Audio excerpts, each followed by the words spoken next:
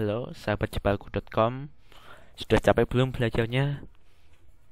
Oh, pada materi sebelumnya Kita sudah bisa membuat tulisan itu kedip-kedip Tulisan itu berjalan Nah, untuk membuat tulisan itu goyang-goyang Bagaimana? Nah, oke okay, pada kesempatan kali ini Yang akan dibahas yaitu cara membuat tulisan itu goyang-goyang Seperti misal pada gak usah saya kasih contoh langsung saya kita belajar membuatnya dulu aja.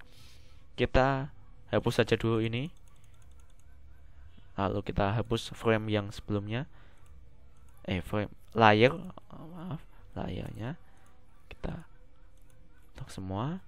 Kita klik delete layar oke. Kita membuat tulisan coba kita tulisan jepalku.com lagi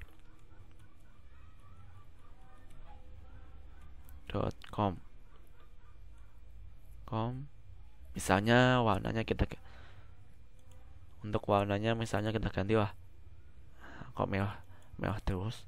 Coba kita ganti warna biru. Oke. Nah untuk cara membuat tulisan itu goyang-goyang nah kita pas kita lihat layar ini layar wadah ini lalu pada coba dalam kita klik lalu kita duplikat. Ya. Pastikan klik kanan lalu duplikat. Nah. Lalu kita klik lagi duplikat lagi. Jadi ada tiga duplikat di sini. Nah ini. Jadi ini pada gambar ini ada tiga gambar tumpuk-tumpuk katanya. Tumpuk-tumpuk apa ya?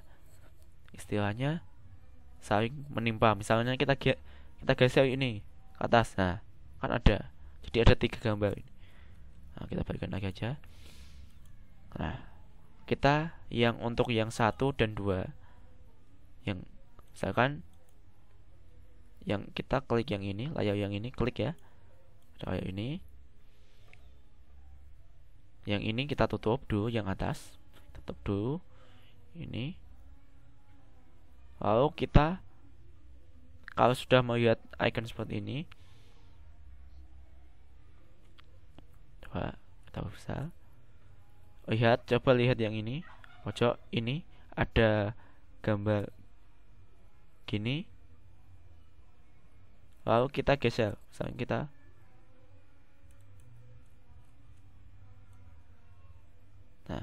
kita buat miring gini. Kalau sudah kita klik move tool lagi supaya proses lalu kita klik apply. Nah lagi.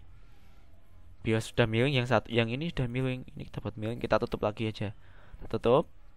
Nah kita klik yang layar yang paling atas ini. Lalu kita klik lagi.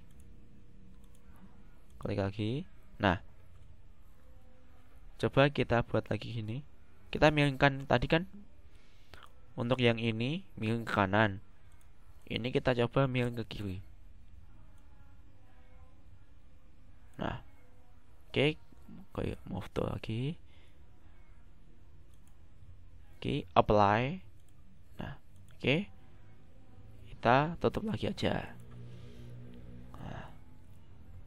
oke yang pertama pada di awal ingat awal itu usahakan yang gambar aslinya yang ini. Untuk yang kedua kita membuat frame yang kedua. Frame. Nah kita tam ini kita tutup dan tampilkan yang miring ke kanan. Lalu kita tambah layer lagi kita tambah frame. Lalu kita tutup ini. Kita balikan yang ke yang ini. Yang biasa lalu kita tambah frame lagi. Kita tutup. Lalu kita klik yang miring ke kiri. Coba kita kasih dua sih. Ini dikasih dua sih gak apa-apa. Ini dua. Dua. Ya lima coba lima saja. 0,5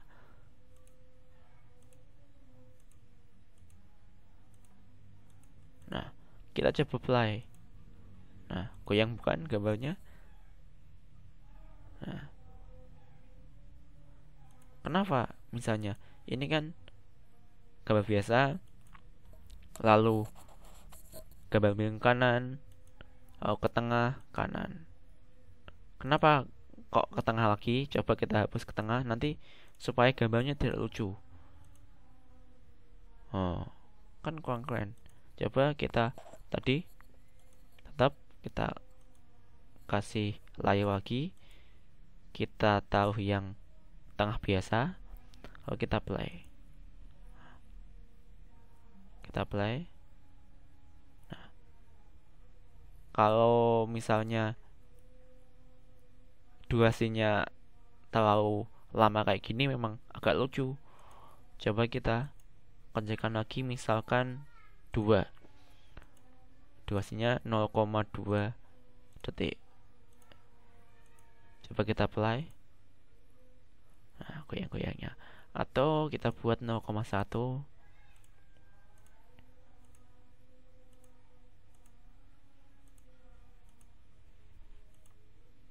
nah bagus kan? Jadi untuk bergerak ini sebenarnya menyesuaikan kreativitas masing-masing. Mau buat jungle malik dosanya itu terserah. Tapi intinya pada dasarnya itu seperti ini. Jadi kalau nanti coba-coba mau buat yang jungle malik misalnya yang ini dibuat kayak gini juga gak apa-apa. Nah. oke kita coba save ya. Kita save save for web. Kita pasti dibuat 300 saja. Nah, 14 KB saja ya. Berarti cukup. Lalu klik save. Goyang.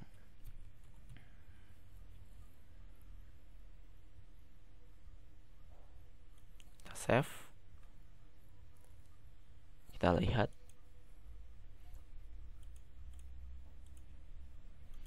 Nah, goyang. Nah, gambarnya goyang-goyang bukan? Oke.